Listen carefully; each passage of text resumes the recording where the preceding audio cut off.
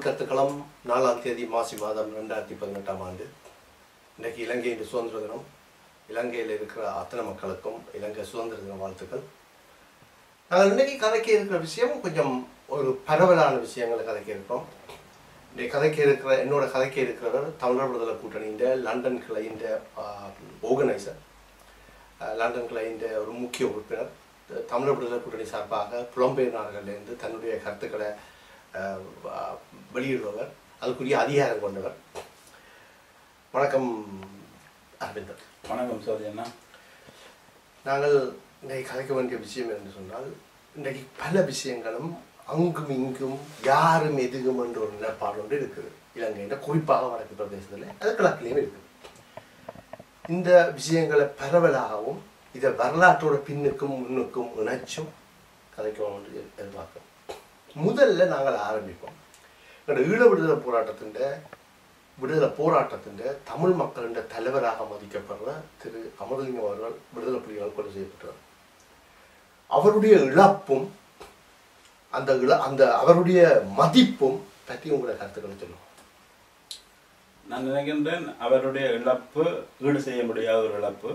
ஏனென்று சொன்னால் அவருடைய அரசியல் சிந்தனை வந்து மிகவும் ஆழமாகவும் மக்கள் நலன் சார்ந்தும் இருந்த ஒரு அரசியல் சிந்தனை கொண்ட ஒரு அரசியல்வாதி நான் நினைக்கிறேன் அவருடைய இழப்பு ஈடு செய்யக்கூடிய அளவுக்கு இன்றைக்கு எதிர்க்கட்சி தலைவராக யாரும் தமிழில் ஒரு அரசியல் தலைவர் எதிர்க்கட்சி தலைவராக வந்திருக்கலாம். அதெல்லாம் வேறு விஷயம். ஆனால் அவருடைய அந்த செயல்திறன் கொண்ட ஒரு அரசியல் மக்கள் மீது அவர் கொண்டிருந்த பற்றும் அந்த மக்களுடைய விடுதலை மீது அவர் கொண்டிருந்த அந்த உன்னதமான அந்த சிந்தனையையும் ஈடு செய்ய முடியாது என்று நான் நினைக்கின்றேன். அவருடைய இழப்பு வந்து அவர் அவர்- அவர் அரசியல் எடுத்த முயற்சி வந்து நீங்கள் பார்த்தீர்கள் என்றால் இந்தியாவை எப்படி இந்த பிரச்சனைகளை கொண்டு வரதுன்றதை பற்றி பார்த்தீங்கள் என்று சொன்னால் அது அவர் வித்தியாசமான முறையில் இன்றைக்கு எல்லாரும் இந்தியாவோட உறவு வச்சிருக்கணும் ஆனால் அவர் வச்சிருந்த உறவு இந்தியாவினுடைய இயங்கு சக்தியோடு அவர் வச்சிருக்கல அவர் வந்து இந்தியாவில் உள்ள அரசியல் தலைவர்களோட தான் அரசியல் கட்சிகளோட தான் தொடர்பு வச்சிருந்தார்கள். நீங்கள் பா- பார்த்தீர்கள் என்றால் அன்னை இந்திரா காந்தியோட அவர் மிகவும் நெருக்கமான உறவை பண்ணியிருந்தார் அந்த உறவு தான் அவருடைய அவருடைய செயற்பாடுகளுக்கு இந்தியாவின் தலையிட்ட இலங்கையில கொண்டு வரதுக்கு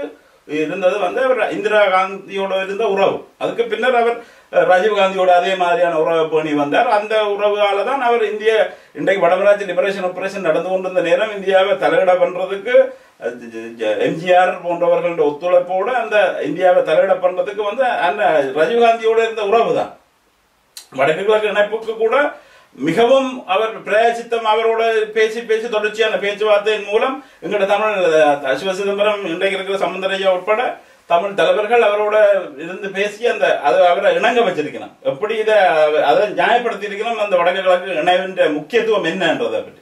அந்த ஒரு பல பலகட்ட பேச்சுவார்த்தையின் ஊடாக தான் அதை அவரை ஏற்றுக்கொள்ள பண்ணினவன் நாங்கள் இது தமிழ் மக்கள் அதை கோ- நியாயம் என்றது அந்த கோரிக்கையின் அடிப்படையில் தான் அந்த வடக்கு கிழக்கு இணைவு ஒரு ரெஃபரண்டத்துக்கு ஊடாக நிரந்தர இணைப்பாக்குறதுன்ற அந்த விஷயத்தை அந்த இந்திய சரத்துக்குள்ள கொண்டு வரப்பட்டது அப்ப அந்த அவருடைய அணுகுமுறை வந்து வித்தியாசமானது என்று நினைக்கிறேன். அவருடைய அந்த சேர்த்தலனுக்கு பின்புலமாக இருந்து செயற்பட்டது டாக்டர் நீலந்திரிச்சலும் அவர்களும் விடுதலை புலிகளால் தான் படுகொலை செய்யப்பட்டவர். இன்றைக்கு நீங்கள் பின்னர் சந்திரிகா பந்தாரக குமாரதுங்க கொண்டு வந்த தீர்வு திட்டத்தை அவர் இதில் அவர் முக்கியமான பங்கு வகித்தவர்.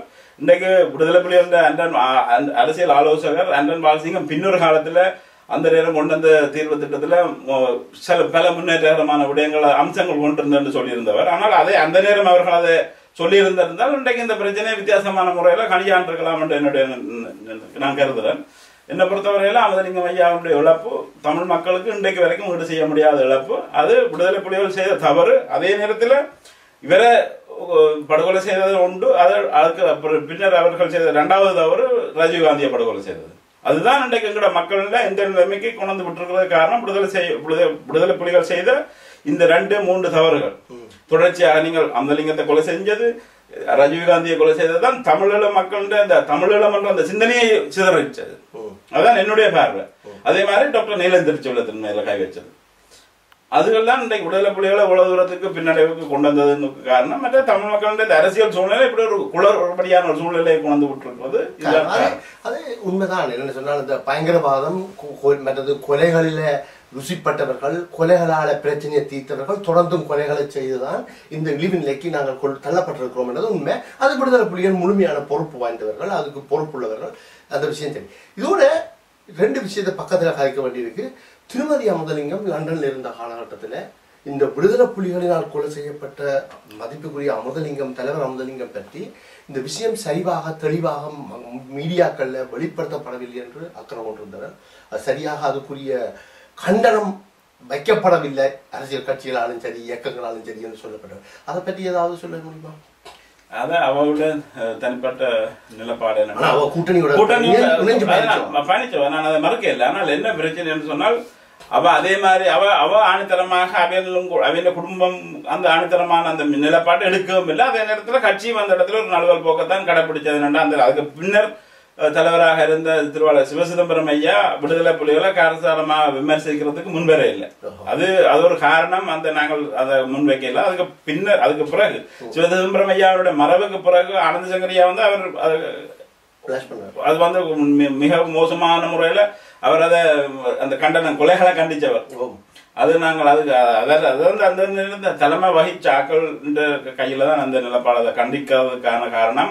ஒரு நழுவல் போக்க நான் நினைக்கிறேன் அதை கடைப்பிடிச்சிருக்கிறார் சிவசிதம்பரம் ஐயான்னு நினைக்கிறேன். நான் அவருடைய தலைமத்துவத்தில் இல்லாட்டி அவருடைய நேர்மையில நாங்கள் கேள்வி முன்வைக்க இல்லாது ஆனால் அவர் ஏன் அவையில விமர்சிச்சு பிரச்சனையை வளர்ப்பான் அவையில அஹ், ப- விடுதலைக்காக போராடன்னு வேலை நாங்கள் விமர்சித்தால் அதால் பலதூரமான பின்னடைவுகள் வரலாம்ன்றதுக்காண்டி நான் அது பல தடவை நான் பா- அவன் ப- தமிழர் விடுதலை கூட்டணியின் முக்கிய தலைவர்கள் இல்லாட்டி பாராளுமன்ற உறுப்பினர்கள் படுகொலை செய்யப்பட்ட நேரங்கள்ல யாராவது ஊடகவியலாளர்கள் அவரை சந்திச்சு கேட்டால் யார் இந்த கொலைக்கு பின்னணியில இருக்கிறோம் என்று நீங்கள் கேட்டீங்கன்னு அவர் சொல்ல எல்லாரும் ஆயத்தோட இருக்கணும். யார் அதை செய்தார்கள் என்று நான் அதை உறுதியாக கூற முடியாது அவர் நழுவத்தனமா தான் அதை கடைபிடிக்கிறார்கள் என்றால் அது விடுதலை புலிகளுக்கு மேல ஒரு சர்வதேசம் ஒரு வித்தியாசமான இதை கண்ணோட்டத்தை வைக்கக்கூடாதுக்காண்டி அவர் அதை கடைபிடிச்சிருக்கலாம் ஆனால் அந்த அப்படியான நெகிழ்வு தன்மையான போக்கு தான் விடுதலை புலிகளுக்கு மேலும் மேலும் கொலைகளை சிம்பிளாக செய்யறதுக்கு தூண்டினார் நான் கருதுறேன்.